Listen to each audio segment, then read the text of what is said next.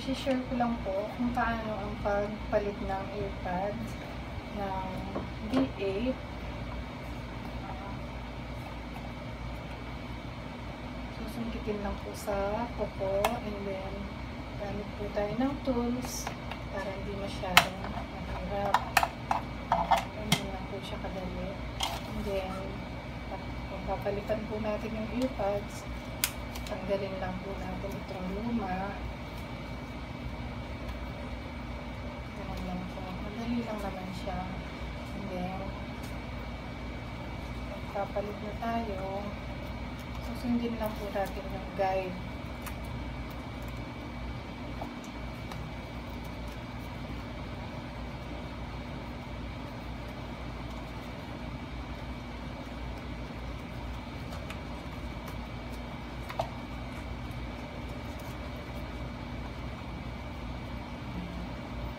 Okay na po siyang lahat, babalik lang natin siya. Tatapat lang po natin.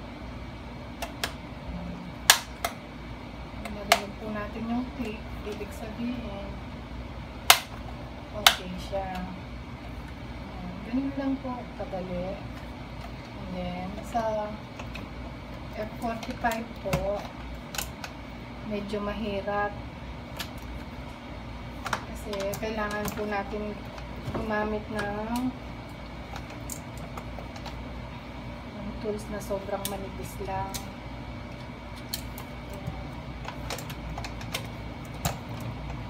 Kailangan po natin ng konti and then pasok natin ng konti.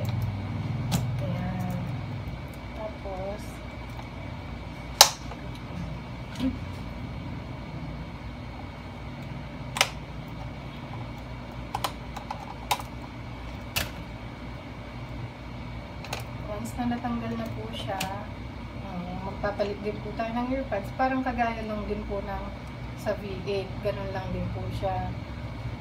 Then, pag nagbalik naman po tayo ng earpads, ganun din po.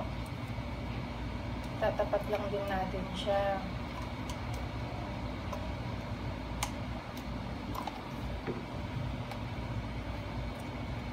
I-press lang natin siya.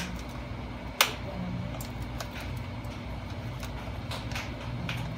Ganun lang din po siya.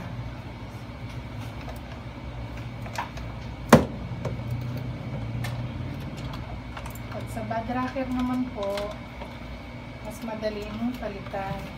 Mas madaling tanggalin.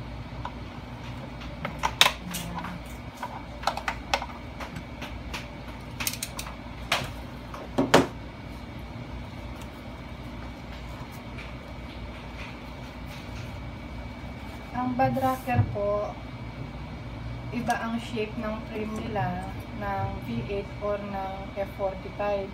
Bilog po yung sa F45 at sa V8. Yung sa bad rocker po, medyo oblong siya. And then may guide po siya na right and left. Gaya po nito, meron na siyang bagong earpad susundin na lang po natin yung guide ngayon. Titingnan po natin, sisilipin natin ganyan. Para pag binalik po natin siya, madali na lang po. Ito yung left.